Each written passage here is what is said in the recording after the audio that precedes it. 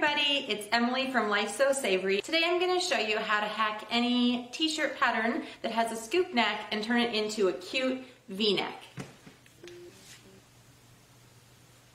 This fun pattern hack is a pretty easy sewing tutorial and today I'm going to show you how to do it.